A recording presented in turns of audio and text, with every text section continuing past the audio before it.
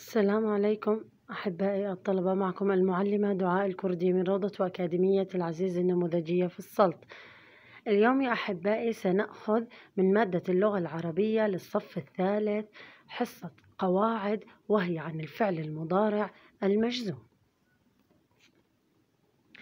لنبدأ يا أحبائي بالفعل المضارع كما أخذنا في السابق هو فعل يحدث الآن. أو أنه سيحدث في المستقبل. الفعل المضارع هو فعل يحدث الآن أو سيحدث في المستقبل.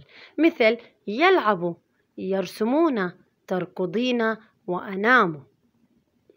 هؤلاء جميعا أفعال مضارعة.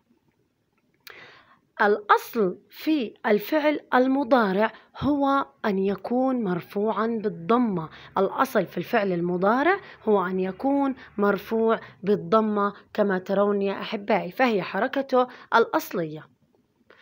وكما قلنا أيضا أن حروف الفعل المضارع تجتمع في كلمة نأتي أي يبدأ الفعل المضارع بأحد الحروف التالية وهي الأ والنون وال يا والتاء أيضا الفعل المضارع يقبل حرف السين في أوله أي يدل على أنه سيحدث في المستقبل.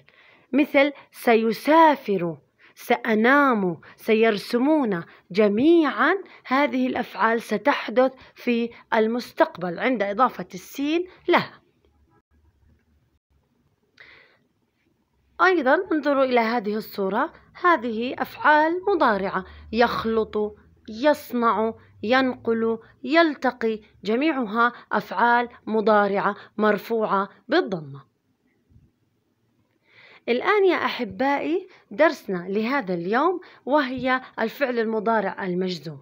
فهناك أدوات لجزم الفعل المضارع وهي لم ولا الناهية ولام الأمر. لم ولا الناهية ولام الأمر. القاعدة ماذا تقول لنا؟ قاعدة فعل المضارع المجزوم. أن الفعل المضارع يجزم إذا سبق بأحد حروف الجزم وهي علامة السكون. إذا الفعل المضارع يجزم إذا سبق أحد حروف الجزم وعلامة جزمه تكون السكون. حروف الجزم اللي أخذناها آه، قبل قليل آه، ولكن ضفوا لها لما لما وهي تفيد النفي ويتوقع حصوله في المستقبل. لم تفيد النفي أي أنك لم تقم بالفعل. مثلا لم تكتب لم تدرس لم تنجح.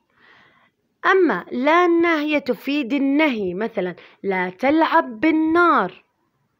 لا تقطع الشارع. نهي. والأخيرة هي لام الأمر تفيد الأمر. لتجلس مثلا. الآن لنأخذ أمثلة. أول مثال لم يتعلم حسن كثيرا من الأمور. الفعل المضارع في هذه الجملة هو يتعلم.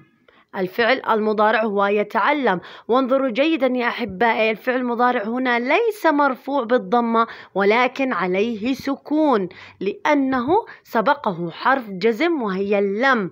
فهنا اللم حرف الجزم. الفعل المضارع جزمنا بإيش؟ علامة جزمه السكون علامة جزمه السكون. في المثال الثاني لتحترم أباك وأمك. وهي اللام هون لام الأمر. أنا بأمرك إنك تحترم أباك وأمك. لتحترم أباك وأمك. لام الأمر. الفعل المضارع إذا سبقه حرف جزم كما قلنا سابقا يجزم بالسكون. وتحترم هون لتحترم عفوا تحترم هون هي الفعل المضارع المجزوم بلام الأمر. وعلامة جزمه السكون. في المثال الثالث لا تكذب في قولك. وهون بنهاك أنا عن الفعل الكذب. لا هون لا ناهية. أنا بنهاك عن الكذب. فتكذب هون فعل مضارع ولكنه انتبهوا يا أحبائي بأنه ليس مرفوع ولكنه مجزوم لأنه سبق لا الناهية مجزوم بالسكون مجزوم بالسكون علامة جزمه السكون. إذا الخلاصة بأن الفعل المضارع آه، عندما يجزم نعربه فعل مضارع مجزوم بلا أو لم كما أخذنا وهي أحد حروف الجزم وعلامة جزمه السكون تكون علامة جزمه السكون. مثل لم يكتب علي الشرح لم حرف جزم يكتب عليها سكون. فعل مضارع مجزوم بلم وعلامة جزمه السكون. وأخيرا يا أحبائي واجبكم لهذا اليوم أعرب ما يلي إعرابا تاما. لا تلعب بالشارع. أعرب لي لا وأعرب تلعب. في المثال الثاني لم يدرس مازن اليوم. لم أعرب لي إياها ويدرس أيضا. قم بإعرابها. هذا الواجب يا أحبائي آه، وجميع الشرح أرجو منكم أن تكتبوه على دفتر القواعد وتحلوا الواجب وتبعثوه على الخاص. ودمتم دائما بخير. أراك في القمة في أكاديمية العزيز.